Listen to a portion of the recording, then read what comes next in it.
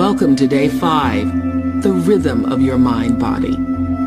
In every moment, we have the power to choose our attitudes and reaction to every person and every situation we encounter. That's where our real power lies. With every experience, we're painting our canvas, thought by thought, choice by choice. And when we approach our lives with a sense of openness, we begin to embrace that co-creative power of mind and body and become more attuned to choices that nurture us physically, mentally, spiritually. So making the most nourishing choice is both a practice and an opportunity for us to grow. And when you do that, you come closer to lifelong well-being and vitality. That's just the truth. Before we begin today's meditation, please get comfortable and listen as Deepak tells us more about how a healthy mind creates a healthy body.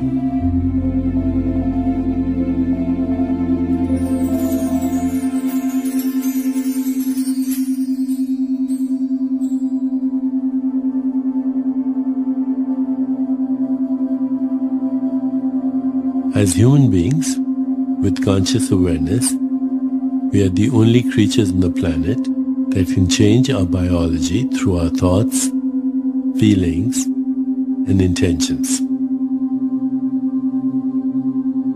Our cells are constantly eavesdropping on our thoughts and being changed by them. The slightest shift of mood is picked up by every cell, which means that we do not think with our brains alone. All 50 trillion cells actively share our thoughts. As we discussed earlier in our journey, doshas serve as switching stations where thoughts turn into matter, where what we think catalyzes a change in our bodies. Consider what would happen if on your morning walk you suddenly encountered a rather large snake slithering across your path. If you were frightened, your heart would begin to pound, your throat would become dry, and your legs would feel like rubber. The abstract mental image of seeing the snake would trigger a concrete reaction a rush of adrenaline. Our thoughts work in the same way. When we're anxious, depressed, frightened about the future, or worried about the past, we send our body messages that cause it to transform in an instant to help us react to the threat that faces us even when no real threat exists.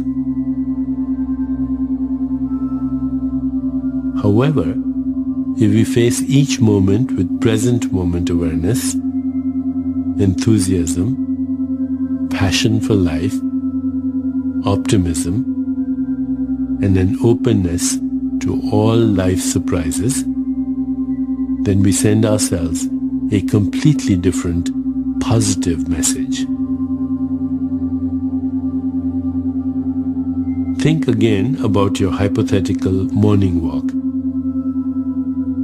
If that same snake crossed your path, but you happen to like snakes, your body would have reacted completely differently to your positive thoughts.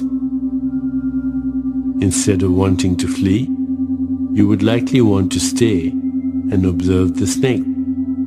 Perhaps touch it or pick it up. In this scenario, your body would undergo the opposite transformation, one that would support balance and healing. Because we possess this subconscious ability to heal or create toxicity in our body through thought, our work is to mentally go with the flow, creating positive thought patterns that support our optimal health and well-being.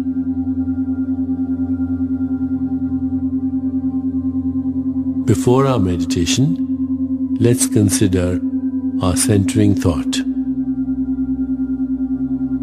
I flow in rhythm with my mind and body.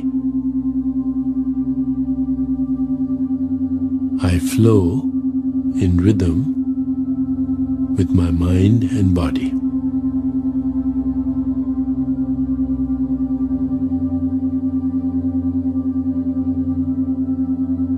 So let's begin. Take a comfortable seat. Place your hands on your lap or on your knees and close your eyes. Take some deep breaths. Inhale slowly and deeply.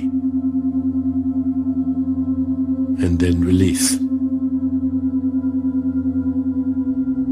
With each inhalation and exhalation, allow yourself to feel more at peace.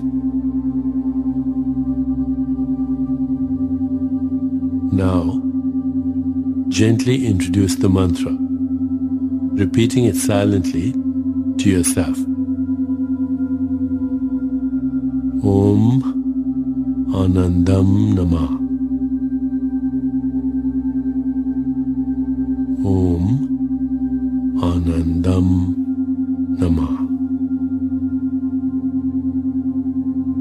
My actions are blissfully free from attachment to outcome.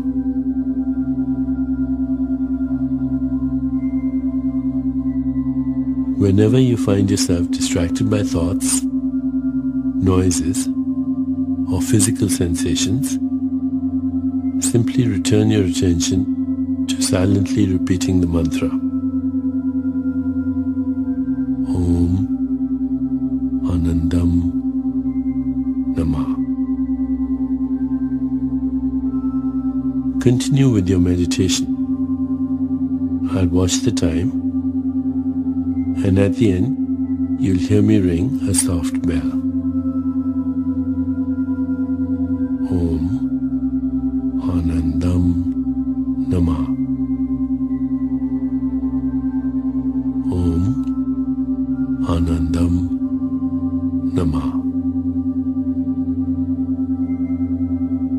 Silently in the mind.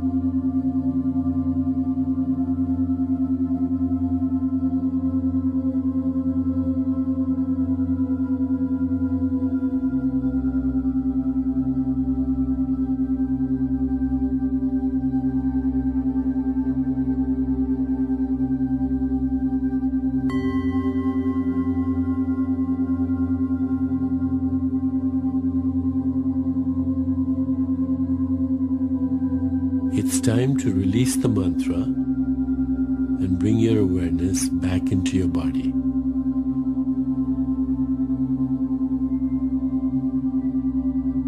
Take a moment to rest. Inhaling and exhaling slowly.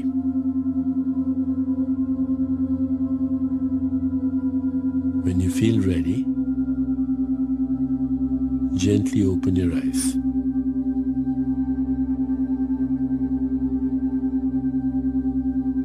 As you continue with your day, contemplate the centering thought.